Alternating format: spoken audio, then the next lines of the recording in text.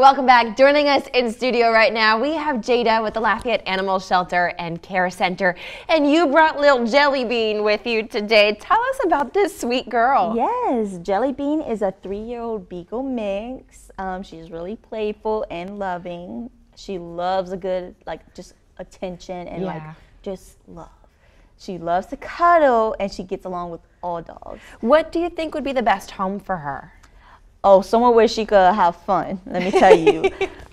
she just wants to have fun and like just lots of love. Like she'd probably be a good cuddle buddy, let me tell you. And she's such a happy little girl. Like she went up to everyone, needed pets. I just am in love with her little ears.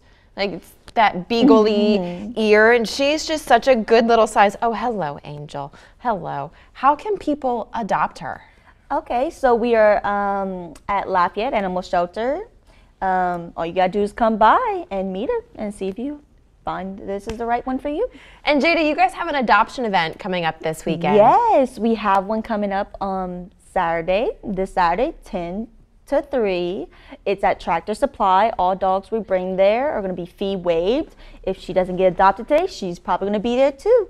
Oh my goodness. I just love this sweet girl. And real fast for people at home, address and hours that you guys are open. Yes, we're um, our address is 410 in Dugas Road. Um, we're open Monday through Friday, 8 to 4:30, and Saturday 12 to 2. Also, the Tractor Supply is in Scott.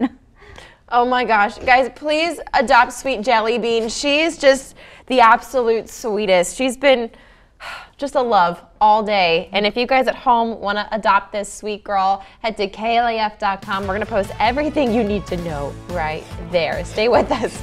We'll be right back after the break. "Ooh, Oh no.